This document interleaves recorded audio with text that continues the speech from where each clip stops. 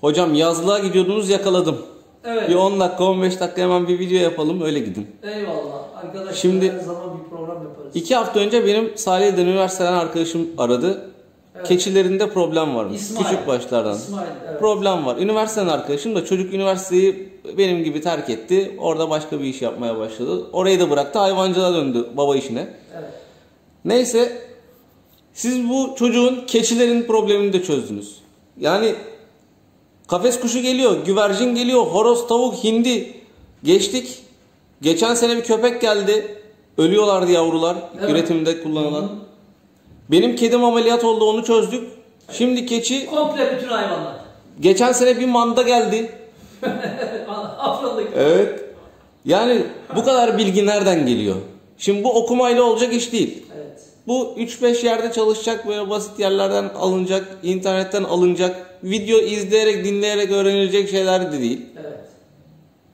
Yani bazı abiler var YouTube'dan açıyorlar hastalık ismini açıyorlar oradan yazıları makaleleri okuyorlar video çektik diyorlar. Evet. Sizdeki o bilginin kaynağı nedir? Nasıl yaptınız bu işi? Sevgili bir defa öncelik şu.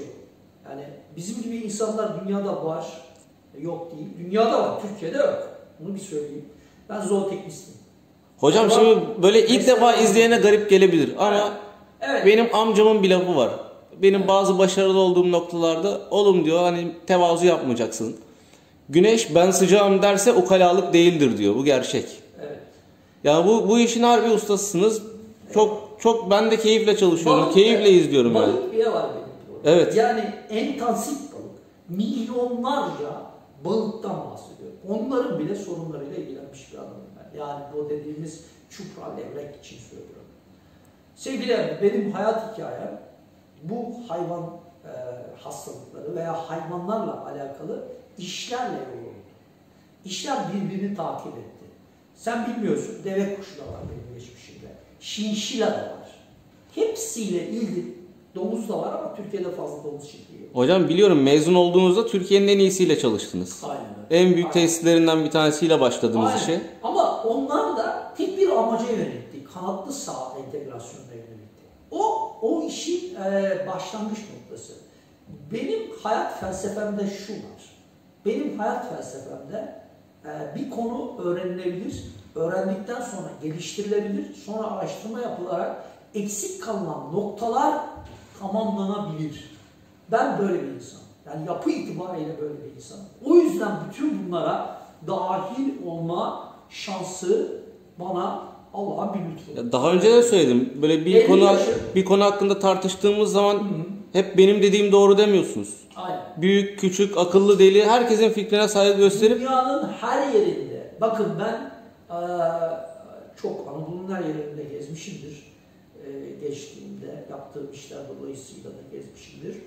Dünyanın her yerinde aslında çok cevherler vardır. Bir şöyle söyleyeyim ben size çok çok anım var, binlerce anım var. Bir gün bunların hepsini kitap yapacağım bu anılar için. Eee, bir, bir köyde bir çobandan öğrenebileceğiniz altın değerinde, okullarda dahi öğrenemeyeceğiniz altın değerinde bilgiler vardır. Alabilirseniz, çobanı hakir görürseniz sıfır, hiçbir şey alamazsınız. Bir Evet. büyükbaş çiftliğinde kahya sıfatında ama işte orada çalışan bir eee gurbetçi arkadaştan çok ciddi bilgiler alabilirsiniz. Bunlar işte genç veterinerlerin, açık olmak genç lazım zoo- hocam. Zooteknistlerin reddettiği, daha doğrusu o ne bilir diye ifade ettiği, aynı zamanda güvercinciler için geçerli. Yani her hayvanı besleyen için Hocam geçerli. bu sadece sizin meslek grubunuzda değil. Değil. Bütün bütün insanımızda var bizim. Aynen. Yani bilim. Aynen öyle. Yani o kibir, o küçük görme. Ben balık tutmayı 8 yaşında çocuktan öğrendim. Bodrum'da 8 yaşında çocuktan ben balık tutmayı öğrendim ve şu an hayatımın en sevdiğim aktivitesi yani İşte balık bak, tutmak. demek ki farklılıkları görmek. Mesela ben örnek vereyim hayatımdan. Aşıcılık değil mi? Aşıcılık mesleği. Evet hocam. Bu meslek de Türkiye'de yani dünya üzerinde bir meslek aslında. Sektörlük diye bir meslek daha var. Binlerce dolar para alırlar sektörler. Bunu bile bilirim ben. Yani eşek tayincisi diyoruz. Ama çok yoğun bir iş. 10 saat bir masada kalkmadan çalışmak. Çok kolay bir şey Evet. değil. Para kazanabilirsiniz Hollanda'da ama çok zor iş. çok iyi göz lazım filan falan. Neyse anlatmayayım. Çok geniş bir şey. Ee, şöyle, aşçılık mesleğine başladığım zaman sistematik olarak aşçılar yan tutarlardı enjektörü. Ben dik tutmak ölümdür.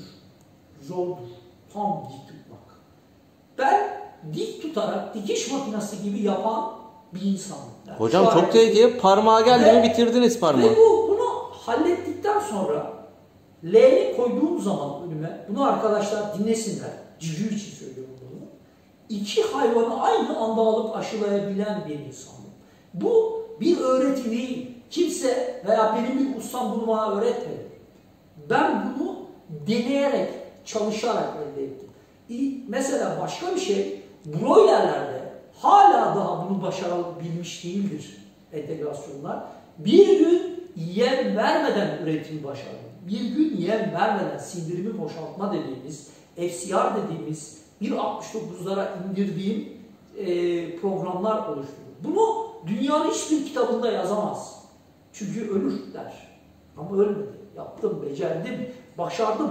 Benim e, hayat felsefemde yok yoktur.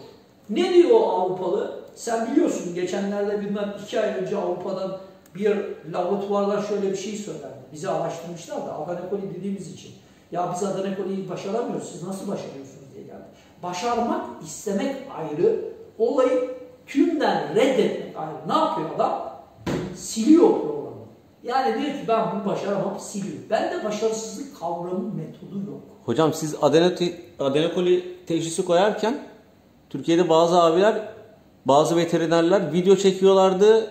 Adenokoli diye bir hastalık yok, öyle bir şey yok diyorlardı. Şimdi Şimdi, şöyle- set satmaya başladılar adenokoli için de. Şöyle, şöyle bakın. Ee, Bunu arkadaşlar çok iyi bilsinler. Bu hastalıklar şimdiki Covid gibi çok yeni hastalıklar. Geçmişleri 10-15 senelik hastalıklar. 75 senelik hastalık değil. Bir veba değil. Bir Newcastle değil. Yani bu hastalıkları hastalık olarak tanı bu bak burada bir hemen bir virgül koyayım. Şu an 50 yani bilmiyorum ama sayı olarak söylemeyelim çünkü a- amiyane olur ama çok sayıda bu muhabbet videosu çekeceğim. Türkiye'de bu muhabbet camiasında çekilen videoların 5 katı kadar daha muhabbet hastalığı çekilen Hocam, kimse bilmiyor. Kimse bilmiyor ya. 30 senelik muhabbet yapan da bilmiyor yani Kimse gerçekten. bilmiyor. Şimdi bak eee, daha yeni 2016 yılında BDF denilen şu an Türkiye'de bu konu yok. Bak BDF denilen bir hastalık iki farklı grup tarafından birisi hayır ekolün içinde diyor birisi ayrı özel bir hastalık diyor. 2018 yılında kabul edilmiş. Türkiye konuşmuyor bile. Adını bile bilmiyor. Biz bir tek megabakteri biliyoruz. Megabakteri komplike bir durum zaten. Bunun alt nüvelerini kimse bilmiyor, kimse çalışmıyor. Yok hocam liyakat sahibi insanlar da büyük şirketlerde çalışıp Mesela sabit hayvan- maaşlarına bakıyorlar yani. Mesela muhabbet kuşu. Hayvan vücudunu komple soymuş, ısırıyor, bütün tüylerini yemiş. Biz ne diyoruz hayvana? İşte diyoruz ki hayvanda işte bir takım parazitler olmuş falan filan. Kan tahlili yaptığımız zaman cilt hastalığı çıkabilir insan gibi. Hiçbir şey bilmiyoruz. O kadar az bilgimiz var ki. Bunun nedeni şu. Bunun nedeni biz e, maalesef bütün türlerde vardır bu ben söyleyeyim sana. Abi sınıf yani üst kalite segment, damızlık yetiştirme sanatına haiz üretici yok. Güvercin içinde. de. Hocam bil- bilime inanan bir kültür oluşmadı yani. Bu bilimle alakalı bir kavram değil. Bu bilimin dışında bir kavram. Onu da söyleyeyim. Hayır ama bunu düşünmek bilimsel bilimsel bir yönelim değil mi? Bak bu bilim başka bir şeydir. Benim sana söylediğim atı sen iyi bilirsin. Saf kan yetiştirme anlamına gelen bir terimdir. Yani ari kelimesinin bilimle örtüştüğü bir takım gerçekler olsa da arinin aslında başka bir tabanı vardır. Bu bir felsefedir. Anladın mı? Mesela biz e, bir koyun türümüzü 60 yılında 60 yılda selekte ettik bir hocamız tarafından. Seleksiyonla bir tür çıkardık ortaya. Bu çok uzun bir geçmişe sahip olmak lazım. Bir muhabbet kuşunda genetik formasyonların oturabilmesi için 20 yıla ihtiyaç var. Biz daha 4. yılda Kuşları kaybediyor. Hocam ama yine bilim, şöyle bilim. Yani atlarda da mesela cidago, cidago yüksekliğinden tutun, dalak genişliğine kadar, kalp büyüklüğüne kadar Evet. yani bütün kan hattına kadar her şeyi inceliyorlar. Buna göre eşleşme yapıyorlar. Yani, Yani şimdi çok büyük şampiyonlar hep bu şekilde çıkıyor. Emreciğim bak bu bir iklim. Biz bu iklimi oluşturmak durumundayız. Ee, ben çok üzülüyorum. Sabahleyin bir muhasebeci arkadaşla görüştüm. İşte Türkiye tarafından girdik, hayvancılığından gezen damından böyle biraz konuştuk 30 dakikada. Yani muhabbetimizin şeyi de o. Bakın biz değerlerimize sahip çıkmayız Türkiye. Yabancı ne dese doğrudur bizim için. Çinli, Arap, o bu. Ya biz değerlerimizin hiçbir konusunda sahip çıkmayız. Bizden hep daha iyi bilen vardır. Yanlış. Avrupa bizi gıptayla alkışlar. Eğer gerçek bilimle uğraşanlar Avrupa'ya gittiklerinde biraz böyle e, elendiklerinde, böyle bir konuşma geçtiğinde, azıcık yani böyle basit böyle bir konuşma geçtiğinde veya bir konu üzerinde hiç kimsenin görmediği bir şey sorulduğunda yanındakine öbürüne bilmem neye bilmem neye şaşkınlıkla böyle ne diyor ve bu Türk'ten çıkıyor dediklerinde şimdi Covid'i bulan aşıyı bulan Türk diyorsun ya Evet. Aynı mantık. Aynı mantık. Biz kendi yerli dönemi bulunduğumuz alanda yani burada değerli değiliz. Avrupalı bizi keşfediyor. Rus, Am- Amerikan bizi keşfediyor. Değerlere sahip çıkıyor.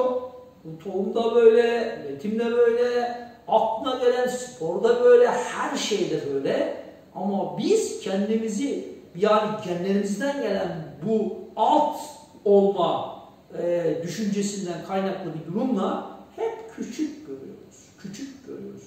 Yani merkezlerimizde ürettiğimiz sistemler hep aynı döngü içerisinde, böyle daire içerisinde dönüyoruz biz. Evet. Avrupa'ya çıktığımız zaman, Avrupa'ya, Amerika'ya gittiğimiz zaman farkı anlıyoruz. Yani adam bakıyor, önce hakir görüyor adam. Gelmiş diyor gene, çantacı gelmiş de bilmem ne var. Hocam Oysa- işte sizin yaşadığınız var. Benim çok var. Oysa işte ben bir iki Alman karı kocaya şu e, şeyi niye güneye koydun dediğimde, kulübeyi güneye niye koydun dediğimde adam güneye koymak lazım dediğimde iyi araştır dediğimde kapattığımda konuyu peşinden koştum. Efendim başka bir şey mi var? Ama önce hoş geldiniz trene bakar gibi. Halo. Halo değil. İşte bu biz olduğumuzu anlatamıyoruz. Evet. Ve ürettiğimiz ürünlerde de böyle. Bak şimdi herkes Avrupalı ilaç alıyor. Hiç kimse gördü mü Avrupalı ilacını aldı- aldığı fabrikanın büyüklüğünü gördü. Bak ben sana öyle bir şey söyleyeceğim. İnanamayacaksın. Diyeceksin ki ya olmaz hocam ya filan diyeceksin. 15 kişinin çalıştığı bir dezenfektan firması Almanya'da. 15 kişi. Bak bizde dezenfektan firmalarında 500'den fazla insan çalışıyor. 15 kişinin çalıştığı bir Almanya'da gittik tesisi gördük. Bizim buradaki burdacılar siteleri var ya Evet. onun gibi bir sitede fabrika diye gördüğümüz Kuzey Afrika, Türkiye, Bulgaristan'a satılan malların üretildiği tesisi gördüğümüzde Öyle hocam 2000 metrekare prefabrik tesiste yapıyorlar bu işleri. bizim burada olsa Tarım Bakanlığı ruhsat vermez. Evet. Bak ben bunu anlatmaya çalışıyorum. Biz değerlerimizi gerçek manada Şekle göre aynen öyle. şekle göre Royal'in fabrikası dünya ölçeğinde. Medikavet'in fabrikası dünya ölçeği. Sinerji'nin fabrikası dünya ölçeğindedir. Çağatay Yem'in fabrikası dünya ölçeğindedir. Yani Evet. dünya hani böyle Avrupa Marka falan demeyelim ha. Dünya ölçeğindedir. Hiçbirimiz görmeyiz. Hep gördüğümüz, görmek istediğimiz şey o Avrupa'daki vatandaşlardır. Yani onlar da zannederiz ki onlar çok bir şey. Oralar NASA üssü falan zannediyoruz biz. Üreticiler açısından. Yani ürün alıyor ya vatandaşlar, mama alıyor, bilmem ne oluyor, yem alıyor, şu oluyor, bu ya. Yemin ediyorum gittim birçok yeri gördüm. İnanamadım. Dedim ki ulan anasını satayım bizim organizelerde en az 10 bin metrekare alanlarda üretim yapılıp kat kat bir sürü insanın olduğu yerlerden, depolardan buraları gördüğümüzde diyorum ki arkadaş Niye bu vizyonu dünyaya gösteremiyoruz? Gösteremiyoruz. Çünkü Türk olmak, Türklükle ilgili bir şey söylemek cahillik anlamına. Değil. Öyle alıştırmışız hocam. Öyle, öyle. Gerçi biz kendimiz de öyle alıştık. Öyleyiz. Şimdi bakıyorsunuz Müslümanım diyoruz. İslamiyet'i en çok yayan, en çok Aynen. iyi anlatan Evet. film Çağrı, Çağrı'yı yapan Hristiyan. Evet. E, Aynen. Müslümanım diyen Kur'an okumuyor. Ülkücüyüm diyen dokuz ışığı bilmiyor. Bilmez. Komünistim diyen manifestoyu okumuyor. Atatürkçüyüm diyen nutuk bilmiyor. Ya Yani bütün kavramlar bizde, bütün kavramlar Sadece şekilde yani. sanal ve şekilsel. Biz güncelik hayat dışında bir hayata sahip değiliz.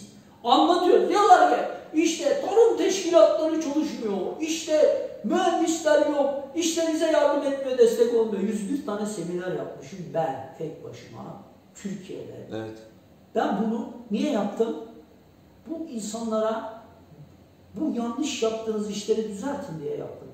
25 sene sonra gittiğimiz zaman aynı noktadaysak üzülüyorum. Şimdi bir abimiz var ismini söylemeyelim Türkiye'nin Don Quixote'u. Türkiye kazan tarımda ki Türkiye'nin Çok, en iyi çok üzülüyorum beslemecisi. hocam ya. Çok üzülüyorum. En iyi beslemecisi. Yani Türkiye bak ne diyorum sana. Yaşına rağmen- Ondan öğrendiklerim, ha o kendi öğrendiklerini doğru bir e, jargonla şey yapamıyor, sunamıyor ayrı konu. Ama e, resmen hani Türkiye'deki şey vardır ya, e, ne diyeyim sana, Keloğlan tarzı düşünelim. Öyle bir yapı içerisinde. Niye? Hazır verdiğimiz her durumda herkes araştırmak, geliştirmek, kendini büyütmekle ilgilenmiyor. İlgilenmiyor. Sadece baktıkları kendi fotoğrafı. Arkadaki görü hiçbir şekilde görmüyor. At gözlüğü diyorsunuz. Görmüyor. Evet, at gözlü. Bu at yarışçılığımızda da böyleydi. Yani bakma sen şimdi son yıllarda olan bir şey. Tabii tabii. Hala daha geliştirebildiğimizi söyleyemeyiz. Hocam Yani- tay denemenin galibi hala şey diyor 70-80 bin lira masrafı var yurt dışına yarışa götürecek atını hala TŞK bana yardım etsin diyor. Aynen. Yol parasını Bak karşılasın. 35 senedir gebe düve ithal ediyoruz. Bak bu anımı da anlatayım ben. Neyim onu anlasın arkadaşlar. Ben Tekirdağ'dan, Malkada'dan, kendi yerli milli düvelerinden 40 tane bir tek tek seçerek aldım. Süt verimleri kaç oldu biliyor musun? akşam? 28 oldu. Almanya Hannover'e gittim. 101 tane aldım. Süt verimleri 32.9 oldu. Şimdi bak işletmeci olarak bakıyorum. Patron, işletmeci, genel koordinatör bu işi bilen. Amerika'ya gittim. 35 litre süt aldım. Şimdi, şimdi ağrı işletmeden aldım ha. Evet hocam. Şimdi gerçekler bunlar arkadaşlar. Evet arkadaşlar. Hocam bitirelim. Cumartesi sohbetini bitirelim. Daha çok konuşuruz. siz de yola çıkacaksınız. Evet. Teşekkürler. Rica ederim. Görüşmek Ağzınıza üzere. sağlık. Herkese de selamlar. Görüşmek üzere. Görüşmek üzere.